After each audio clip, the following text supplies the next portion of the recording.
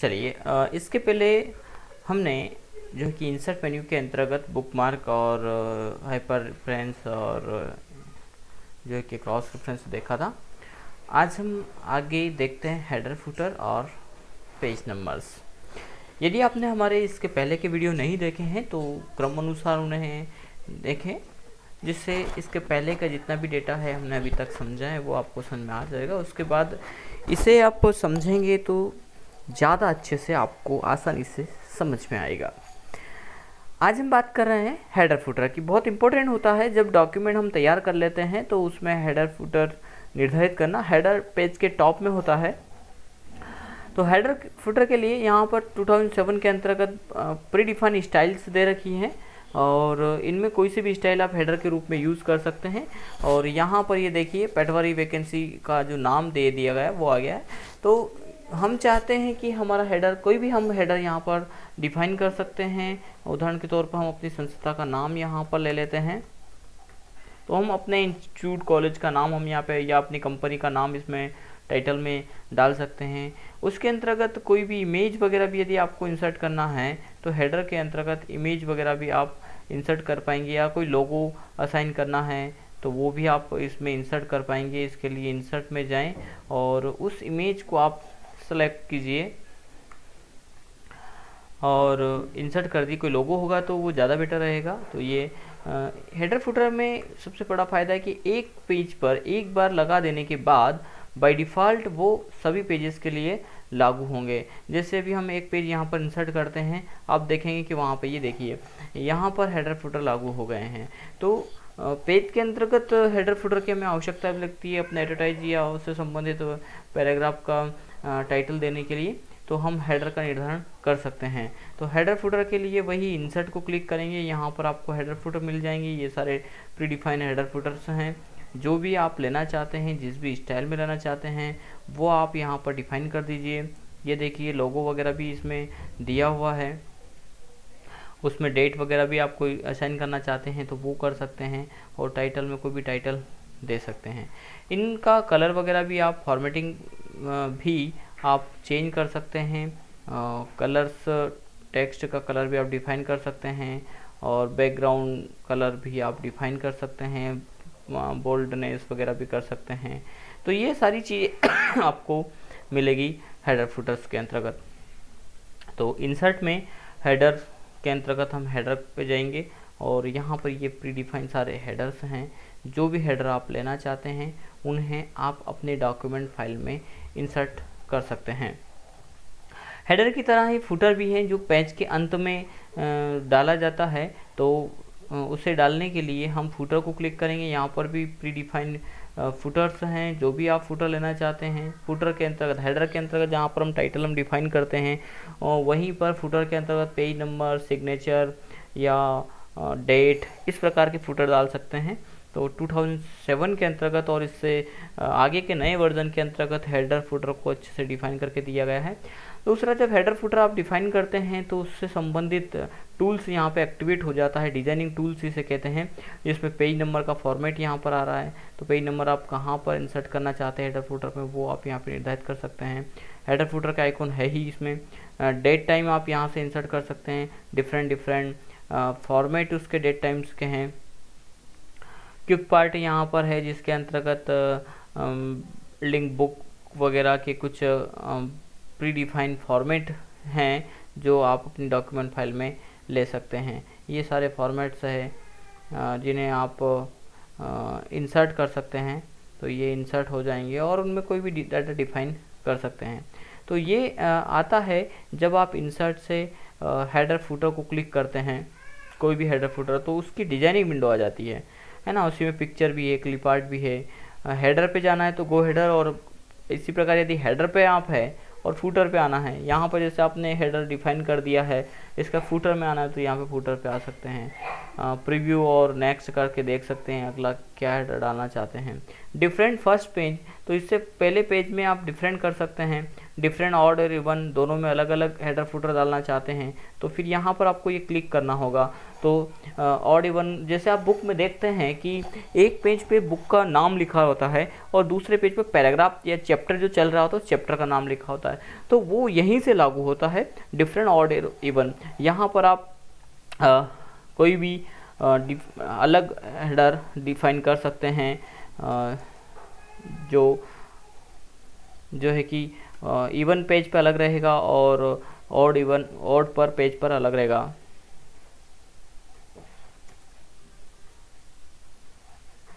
ये इस प्रकार से। तो आप देखेंगे कि जो फ़र्स्ट पेज है, इसका हेडर अलग है और ये डिफरेंट कर दिया था हमने, इसलिए फ़र्स्ट पेज डिफरेंट अलग आ रहा है। और सेकंड पेज का हेडर इसमें यानी सुबह अकेडमी आ रहा है, जबकि इसके अंतर्गत इसमें अगले पेज में जो है कि डी सी आ रहा है। ये देखिए, इसमें D C P D C है और इसमें पहुँचेंगे तो शुभ मार्केट में आ रहा है। अगले जितने पेज इंसर्ट करेंगे तो उन सभी में यही चीज़ लागू होगी, जिसमें डेटा बाय डिफ़ॉल्ट ये देखिए, एक में शुभ मार्केट में आ रहा अब अगला जो इंसर्ट होगा, उसमें by default D C P D C आ जाएगा। ये डी सी पी डी इसके बाद फिर शुभ मार्केट में आ जाएगा। ये देखिए, ये आ गया। तो इस प्रकार डिफरेंट डिफरेंट हेडर फूटर भी आप रख सकते हैं ऑड और एवन तो ये इंसर्ट के अंतर्गत जब आप हेडर फुटर को लेते हैं हेडर लें या फुटर लें, उसी के अंतर्गत उससे संबंधित सेटिंग्स आपको यहाँ पर मिल जाएगी। हेडर फुटर का कितना सेंटीमीटर जगह आप चाहते हैं 1.25 सेंटीमीटर यदि आप कम करना चाहते हैं हेडर के लिए, इसी प्रकार फुटर के लिए भी कम चाहते हैं आप तो वो आप यहाँ पे डिफाइन कर सकते हैं। क्लोज हेडर फुटर को क्लिक करेंगे तो उसे क्लोज कर देंगे। तो इस प्रकार हमने समझा किस प्रकार डॉक्यूमेंट फ़ाइल में आप हेडर एंड फुटर को इंसर्ट कर सकते हैं। हेडर फुटर के बाद पेज नंबर से हैं। पेज नंबर से आप यहाँ पर फ़ाइल में, अपने डॉक्यूमेंट फ़ाइल में कोई भी पेज नंबर ले सकते हैं। उसमें भी अलग अलग स्टाइल है कि टॉप में आप चाहते हैं तो टॉप में भी फिर अलाइनमेंट उसका सेट कर सकते हैं कि उसकी पोजीशन किधर हो। तो उसकी पोजीशन जैसे लेफ़्ट में हो, सेंटर में हो, राइट में हो तो वो उसकी पोजीशन यहाँ पर सेट हो जाएगी। ये फाइव नंबर आ रहा है नंबरिंग में। तो इस प्रकार से नंबर आप इंसर्ट कर सकते हैं। ये मिलेगा आपको पेज नंबर के अंतर्गत करंट पोजीशन तो करंट पोजीशन इसकी जहाँ पे भी होगी वो बता देगा। Format page number one two three चाहते हैं ए बी सी डी चाहते हैं या रोमन चाहते हैं तो ये अलग अलग क, ख, ग भी है, अ आ ई भी है, वो फॉर्मेट लागू हो जाएगा। जब पेज नंबर फॉर्मेटिंग आप लागू करते हैं तो यहाँ पर स्टार्ट एट कहाँ से स्टार्ट हो? अ से ब से स से। तो जैसे हम आपने देखा होगा कि जब हम बुक बाइंडिंग करते हैं तो बुक का जो फ़र्स्ट पेज है, वहाँ पर नंबरिंग नहीं आता है। वहाँ पर, अ छोड़ देगा, आ से आएगा या one two three four five है तो फिर वहाँ वन पेज कवर भी है, लेकिन टू से आएगा। तो फिर हम चाहते हैं तो ये सेट कर सकते हैं कि आ से आए, या हमने जो भी लिया, क, ख लिया, या रोमन लिया है तो सेकंड से आए, ये हम निर्धारित कर सकते हैं। तो नंबर जो अलाइनमेंट सेट होगा, वो सेकंड पेज से होगा। देखिए फ़र्स्ट पेज हमने सेकंड कर दिया। ये फ़र्स्ट पेज बाय डिफ़ॉल्ट ही हमने सेट कर दिया था डिफरेंट इसलिए इसको लिया ही नहीं है। तो ये फ़र्स्ट नंबर सेकंड नंबर से लिया था तो ये थर्ड आया। तो आप चाहते हैं, जो भी चाहते हैं इस प्रकार का तो यहाँ पर सेकंड चाहते हैं हम तो फ़र्स्ट उसमें कर देंगे डिफरेंट कर देंगे। यदि वो डिफरेंट नहीं किया होता तो यहाँ पर सेकंड ही आता। हमने हेडर फुटर के अंदर फ़र्स्ट फाइव डिफरेंट को चेक लगा दिया था, इसलिए उसकी स्टाइल डिज़ाइनिंग के लिए यहाँ पर छोड़ रहा है स्किप कर रहा है उसको। तो ये इस प्रकार से नंबर आप डाल सकते हैं। टेक्स्ट बुक यहाँ पे फॉर्मेट है। जब आप डेटा अलाइनमेंट बनाते हैं, कंपनी के ब्राउज़र वगैरह बनाते हैं तो अलग अलग डिफाइन स्टाइल की आवश्यकता पड़ती है। कुछ पैराग्राफ बीच में लेने की आवश्यकता पड़ती है। दो भागों में डिवाइड करने की आवश्यकता पड़ती है। तो ये टेक्स्ट पेज है डिफरेंट, जिसमें लेआउट डिज़ाइनिंग आपको प्री डिफाइन मिलेगी। ये देखिए, इसका कलर वगैरह, यानी एम एस ऑफ़िस के अंतर्गत, वर्ड के अंतर्गत प्री डिफाइन करके दिया गया यहाँ पर आप अपना कोई भी साइडर डेटा असाइन कर दीजिए। इस पैराग्राफ से जो डिफरेंट हो, जिसमें आपकी विशेषता हो सकते हैं जिसे आप या कंपनी या प्रोडक्ट की जो है कि क्वालिटीज़ को आप डिफाइन कर सकते हो, है ना? तो उसको हाईलाइट करने के लिए यहाँ पर उसका कलर डिज़ाइनिंग स्टाइल दिया गया है। इसमें भी फॉर्मेटिंग आपको करना है तो आप डबल क्लिक करें। ये ऐसे एक्टिवेट नहीं होता। डबल क्लिक करेंगे तो ये एक्टिवेट हो जाएगा। फिर आप जो भी कलर स्टाइल यहाँ पर लेना चाहते हैं ये देखिए बैकग्राउंड कलर उसका हो गया। इसी प्रकार इसका भी डिज़ाइन स्टाइल आप लागू कर सकते हैं, वो कोई इशू नहीं है उसमें। तो हम यहाँ पर अच्छे से कुछ फॉर्मेटिंग्स डिफाइन कर देंगे। इस प्रकार से डिज़ाइनिंग आप ले सकते हैं। ठीक है तो ये क्विक पार्ट के अंतर्गत आपको सॉरी टेक्स्ट के अंतर्गत ये आपको मिलेगा और ड्रॉ टेक्स्ट के अंतर्गत जब जाते हैं आप तो कोई भी टेक्स्ट अलग से भी डिज़ाइन आप कर सकते हैं और उनको असाइन कर सकते हैं। चलिए, आगे हम देखते हैं। अभी हम एक नई फ़ाइल ले लेते हैं यहाँ पर। इंसर्ट के अंतर्गत तो ये हमने देखा था टेक्स्ट बुक के अंतर्गत, जिसे टेक्स्ट बॉक्स के नाम से दिया गया है 2003 के अंतर्गत, लेकिन सेवन के अंतर्गत इसको और अच्छे से डिज़ाइन करके दिया गया है।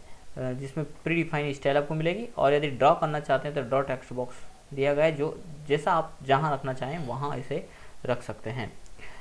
क्विक पार्ट के अंतर्गत यहाँ पर फ़ील्ड वगैरह आप डिफाइन कर सकते हैं। कई बार हमें फ़ील्ड डिफाइन करना होता है, जैसे एक्सल वगैरह के अंतर्गत हम डिफाइन करते हैं।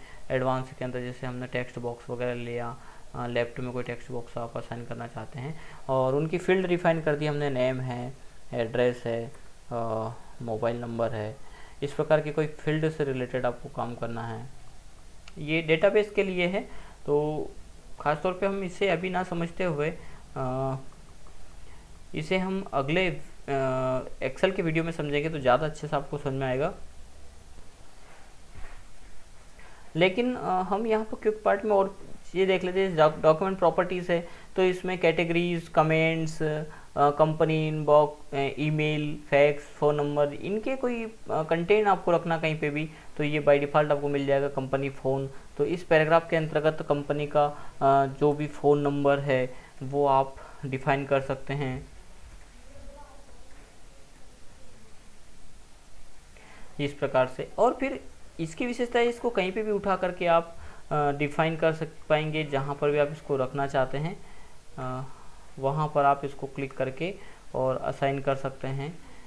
उसमें कोई इशू नहीं है। हम जहाँ चाहते हैं, वहाँ पैराग्राफ को हम रख पाएँगे और कंपनी का नाम कैटलॉग वगैरह, ये देखिए मूव हो गया है। तो ये हम कर सकते हैं। ये क्यूब प्रार्ट के अंतर्गत तो मिलेंगे आपको।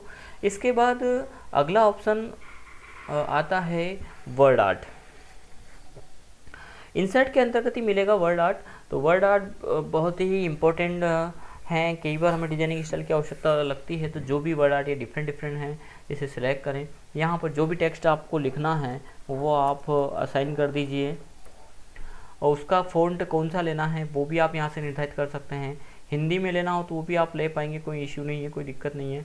उसकी साइज़ आप क्या निर्धारित करना चाहते हैं, वो आप कर सकते हैं। बोल्ड वगैरह रखना है ओके कर दीजिए। देखिए, वो जो स्टाइल आपने लिया था, वो यहाँ पर आ चुका है। अब यहाँ पर कुछ चीज़ें दिक्कत देती है। जैसे आप इसको मूव करना चाहते हैं, कई बार ऐसी आवश्यकता लगती है कि मूव नहीं होता है। तो हम इसके भी सारे फीचर समझते हैं। जब आप वर्ड आर्ट को इंसर्ट करेंगे तो उससे संबंधित वर्ड आर्ट बार आ जाएगा। जिसके अंतर्गत यहाँ पर ये सबसे पहला ऑप्शन है इसमें टेक्स्ट एडिट यदि टेक्स्ट को एडिट करना है, जैसे शुभम अकेडमी में कहीं स्पेलिंग मिस्टेक हो गया है और उसे एडिट करना है, या फिर इसका फंट है तो फंट को आपको चेंज करना है तो डिफरेंट फंट ले सकते हैं। जो भी फंट लेना चाहते हैं आप इसका। साइज़ बढ़ाना फंट की तो आप वो भी बढ़ा सकते हैं। ये। एडिट में है और स्पेसिंग में जो फंट आपने जो कैरेक्टर लिखे हैं उन लेटर्स हैं, उनके बीच उनको स्पेस आपको कम करना है, जैसे वेरी टाइट कर देंगे तो बहुत पास पास हो जाएँगे, देखिए। जबकि इसको लूज़ करना है तो ये हम लूज़ कर सकते हैं तो इनमें के बीच की दूरी बढ़ जाएगी। इसी को रोटेट करना ए टू जेड करना है सेम लेटर कहलाता है ये। तो ये देखिए, अभी सेम लेटर नहीं आ रहे हैं। यदि आपको सेम लेटर डिफाइन करना है। देखिए, जितना एस है एच है उतना यू नहीं है। तो यदि सेम लेटर चाहते हैं तो सेम लेटर को क्लिक कर दिए। S B H B U B B B सारे लेटर सेम हैं। ये भी कर सकते हैं। और वर्ड आर्ट वर्टिकल जोन में चाहते हैं तो ये वर्ड आर्ट वर्टिकल जोन है। आप हमारे माउस क्लिकमेंट को प्रॉपर ध्यान रखें। हम यहाँ पर क्लिक कर रहे हैं जिससे ये लागू हो रहा है। तो इस प्रकार से वर्ड आर्ट पर सेम लेटर और ये सारी चीज़ें आप कर सकते हैं। अलाइनमेंट भी है तो लेफ़्ट राइट सेंटर से किधर से मैनेज करें, वो आप कर सकते हैं।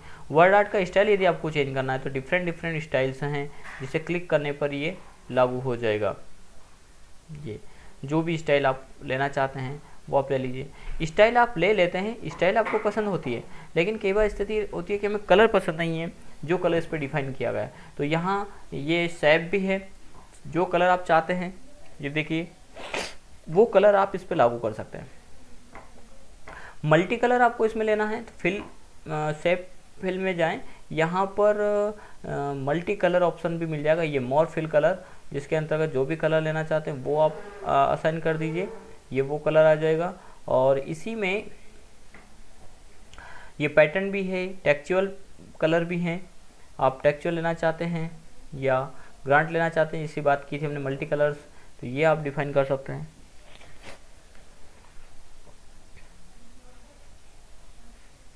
है ना? और टेक्चुअल लेना है तो ये डिफरेंट डिफरेंट टेक्चर हैं।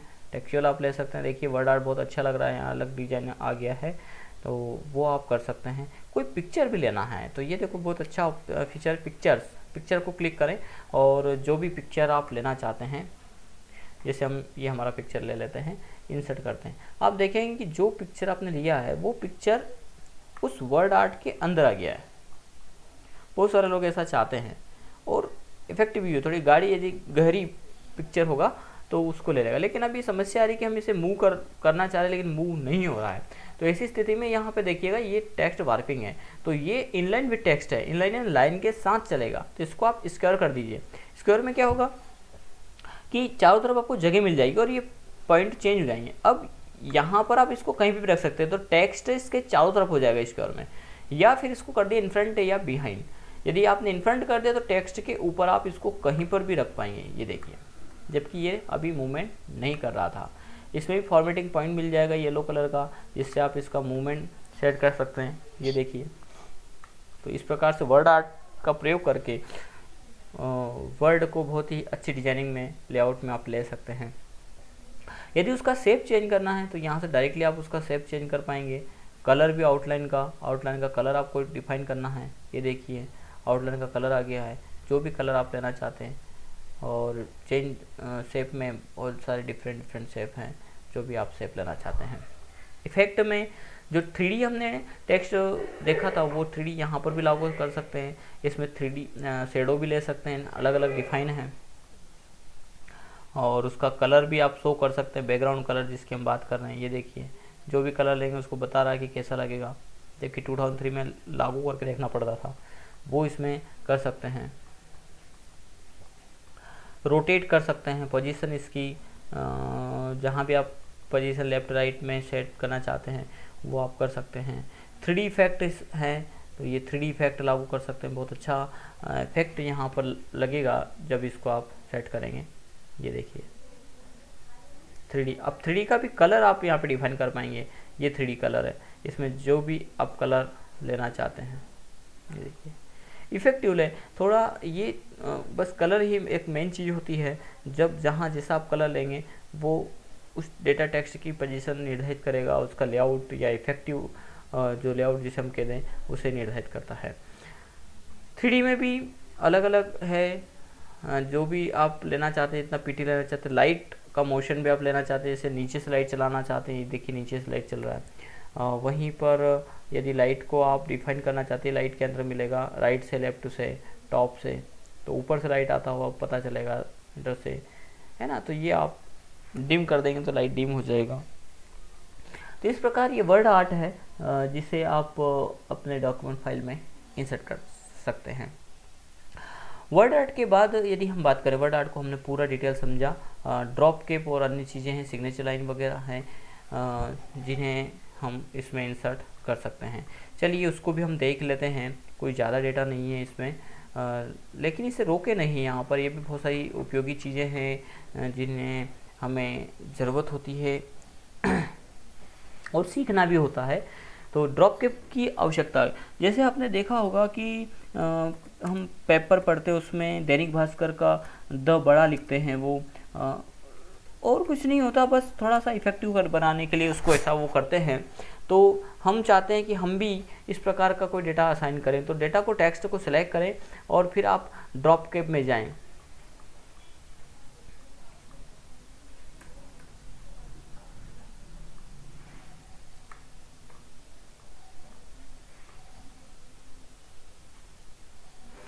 तो डेटा टाइप करके और फिर ड्रॉप कैप को क्लिक करें। ये देखिए। इसमें जैसा ये लाइन का, तीन लाइन तक ये कवर कर रहा है लेटर यदि ड्रॉपेड लेंगे आप तो ये देखिए एज का शुभम का।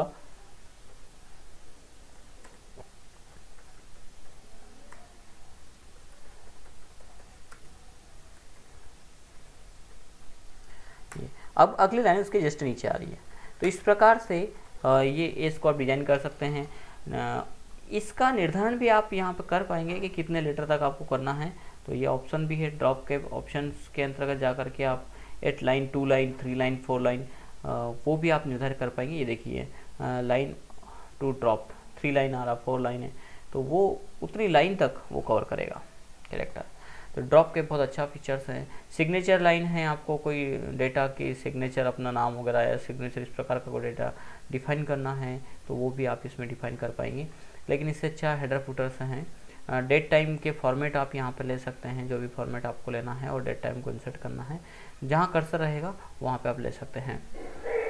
ओ फीचर भी है ऑब्जेक्ट लिंकिंग बेंडिंग जिसे हमने एक्सेल के रूप में देखा था। तो यहाँ पर अन्य एप्लीकेशन के अंतर्गत यदि आपको आ, कोई काम करना है जैसे हम चाहते हैं कि वर्ड के अंतर्गत एक्सेल की हमें ज़रूरत है तो आप एक्सेल को यहाँ पर इंसर्ट कर सकते हैं। हमने इसके पहले वाले वीडियो में आपको बताया भी था तो इस प्रकार से अन्य एप्लीकेशन यानी वर्ड में रहते हुए आप अन्य एप्लीकेशन का यूज़ कर सकते हैं। और ये प्रस, जो प्रोसेस है वो कहलाता है O L E object linking embedding तो इसमें दो तरीके से ऑब्जेक्ट को आप क्रिएट कर सकते हैं, एक लिंक ऑब्जेक्ट दूसरा एम्बेडेड तो यहाँ पर ये ऑब्जेक्ट जो है, ये लिंक ऑब्जेक्ट है जिसमें एक एप्लीकेशन के अंदर रहते हैं, हम दूसरे एप्लीकेशन पर काम कर पा रहे हैं। और जब हम इससे बाहर आते हैं तो हम अपने मूल एप्लीकेशन में उसकी छवि देख पाते हैं, उसका डेटा देख पाते हैं। तो ये ऑब्जेक्ट क्रिएशन है, जिसके अंतर्गत डिफरेंट डिफरेंट प्रकार के ऑब्जेक्ट आप क्रिएट कर सकते हैं। और टेक्स्ट फॉर्मेट यदि कोई फ़ाइल आपको लेना है तो उसे भी आप यहाँ पे ऑब्जेक्ट ग्रुप में इंसर्ट करवाएँगे, जो भी डेटा उसका है, वो उस फ़ाइल के अंतर्गत आ जाएगा।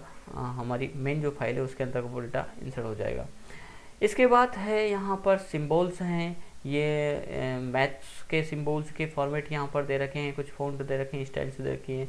यदि इस प्रकार का डेटा की आपको आवश्यकता हो तो इंसर्ट कर सकते हैं। और डायरेक्ट वैल्यू चेंज करके, और मैथ्स के जो सवाल्स हैं, उन्हें आप क्रिएट कर पाएँगे, ये डेटा को क्रिएट कर पाएँगे।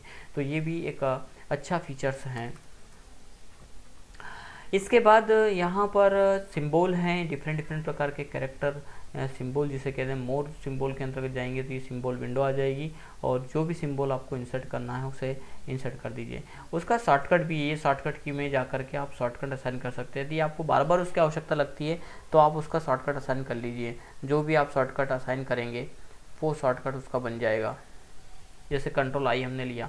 तो हम इसे असाइन करेंगे और ऐसा शॉर्टकट ना बनाएँ जैसे कंट्रोल आई से भी से इटैलिक होता है तो आप ऐसा शॉर्टकट नहीं बना हमने गलती से बना दिया है, पर यदि बना देंगे तो भी ये इंसर्ट हो जाएगा कंट्रोल आई से। तो इस प्रकार से सिंबल का यूज़ भी आप कर सकते हैं। तो साथियों, आज हमने header footer word art word art के सारे स्टाइल वगैरह देखें, साथ ही साथ सिम्बोल्स का हमने यूज़ किया। तो यदि आपको वीडियो पसंद आया हो तो लाइक करें शेयर करें और हमारे चैनल को सब्सक्राइब करना न भूलें। धन्यवाद।